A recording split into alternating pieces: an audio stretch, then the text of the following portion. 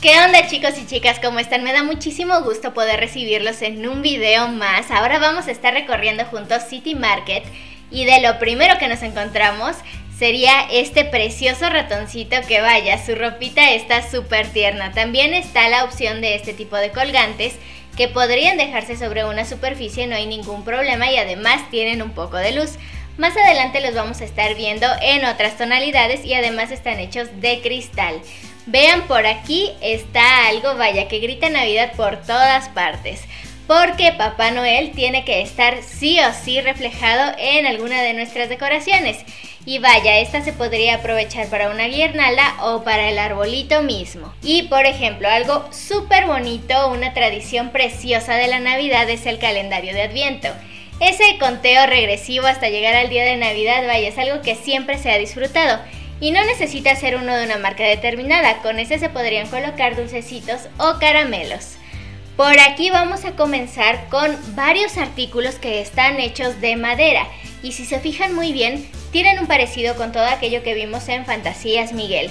Solamente importa la técnica que se utilice para poder pintarlos. Y vaya, se podría utilizar el pincel seco para poder dejar ese tipo de acabado que tiene la parte blanquita de la túnica de Santa. Así que no hay pretextos. Además, en Fantasías Miguel también por la compra del material te dan las clases gratis. Es algo que se me había pasado decirles. Vean, aquí hay un trineo. ¿Eso no les dice algo? Bueno, los que prestaron atención al video pasado sabrán de qué estoy hablando y pues realmente no tiene demasiada decoración. Vean, aquí nos encontramos con un precioso regalito, este ya en un tono doradito, un poco champán, el glitter no debe de faltar y sabemos que es algo que siempre le da un plus a cualquier artículo navideño. Y este está precioso.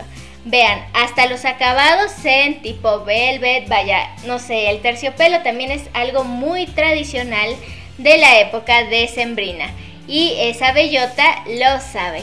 Además, hay unos cascanueces que están divinos.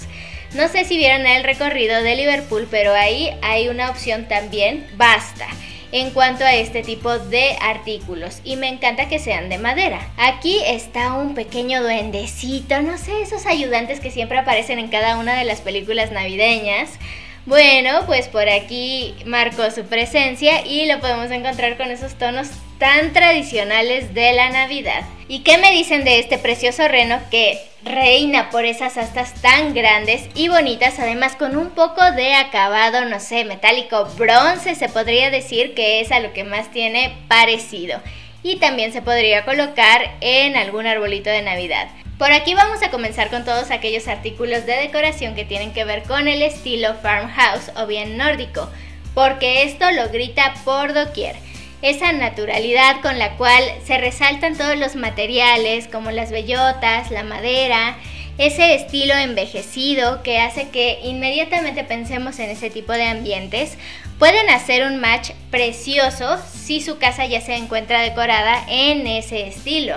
Además, van a hacer que se acentúe muchísimo más todo el trabajo que han hecho seleccionando cada uno de los artículos, ya sean, no sé, muebles, algunas mesitas laterales, vaya, todo va a combinar de una manera absolutamente ideal.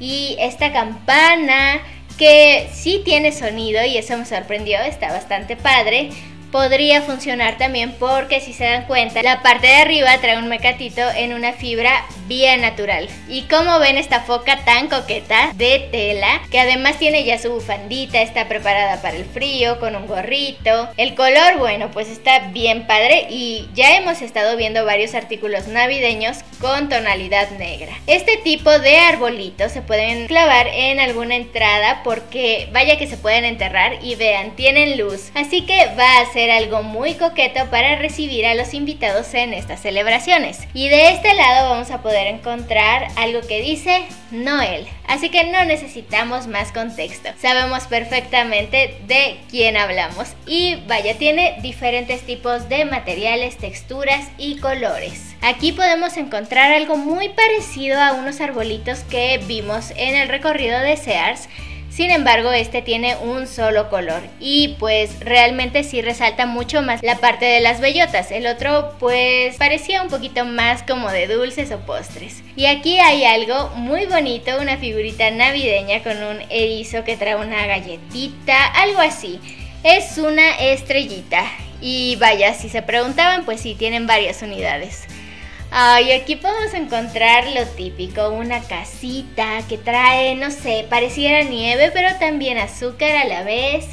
No sé si pensar en una casita de algún paraje muy distante o en un postre. Y aquí vamos a estar observando la belleza que tienen todos los artículos de decoración vintage, porque ese snowman lo sabe perfectamente. Y lo que nunca puede faltar es un misterio, porque siempre vamos a necesitar todo esto que tiene que ver con el corazón de esta celebración, que en sí es el nacimiento de Jesús. Así que bueno, pues aquí podemos encontrar algo precioso que representa a Jesús María y al Niño Dios.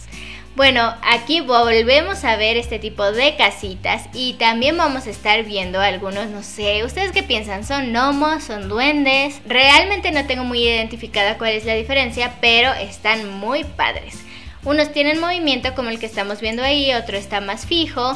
Aquí hay una figurita que está hecha de un material, no sé, tipo cerámica, algo así. Si se cae, si se rompe y también tiene un gorrito que ese sí está tejido. Pero bueno, es muy bonita, bastante grande y como les digo, tiene este efecto como azucarado, de escarcha, algo así. Por aquí vamos a ver otro tipo de nacimiento, uno que pudiéramos ver un poquito más moderno, con un toque un poco chibi, hasta los animalitos por ahí tienen una carita como que muy muy tierna. No sé si ustedes lo ven igual que yo. Y hay algunos detalles también para una Navidad en tonalidad blanca, como por ejemplo este tipo de colgantes, que al tener diferentes tipos de texturas, pues sí generan una diferencia en cuanto a lo que sería una decoración completamente lisa. Y vean, el brillo nunca va a ser una exageración en la época navideña, así que este copo de nieve está completamente ad hoc. Se va a ver padrísimo y además la parte de atrás es doradita. Bueno, aquí vamos a ver otra opción de estos, no sé, duendecillos gnomos que tienen un gorrito, vaya, con tanto brillo y diferentes colores, desde el dorado, champán, tornasol, y también hay otros que están hechos de, no sé, un material tipo resina, cerámica, y estos son hasta una familia, así que podemos ver a los tres, y está muy padre porque tienen hasta regalitos y dulcecitos. Bueno, hablando de dulces, esto parece una galleta definitivamente. Y pues en realidad es un colgante que viene en diferentes formas, también lo podemos encontrar como si fuese un arbolito de Navidad. Y bueno, por aquí vamos a ver a otro de estos duendecillos, pero ese viene solito, no con su familia, y pues sí trae varios regalitos cargando. Aquí más o menos pueden ver qué altura tiene. Y vamos a pasar a observar algunas esferas que bien podrían ser hechas a través de un DIY porque simplemente comprando una bolita de unicel y si ustedes saben tejer haciendo una cadena simple se podrían formar nada más pegándola y por aquí vamos a ver algo locochón, diferente.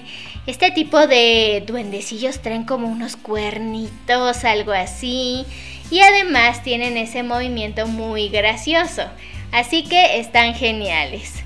Y vaya, este tipo de hombre de nieve no podía faltar. Está en la forma de un colgante, esfera y también hecho de una telita que vaya, es bastante suavecita y además trae un poco de brillitos. Por aquí vamos a poder tener una visión bien general de todo aquello que nos estamos encontrando aquí. Y pues básicamente llegamos al final del video. Les agradezco muchísimo que se hayan quedado hasta esta parte. Saben que nunca me voy sin haber mandado saluditos que en esta ocasión son para Leticia Vilchis, Verónica Olvera, Nani Granger Potter, Héctor Álvarez, Lena Amalia, María de Jesús Gómez Pelcastre, Almita MC, Jesús Ricas, Eva López y Cintia Guzmán. Muchas gracias por estar activos en la cajita de comentarios, dejarme también esas preciosas estrellitas porque ya saben que cada vez que colocan una en su comentario, yo los voy a estar saludando en el próximo video. Sin más, les mando un enorme abrazo, saben que los quiero muchísimo y los voy a estar esperando con muchísimo cariño en el próximo video. Bye.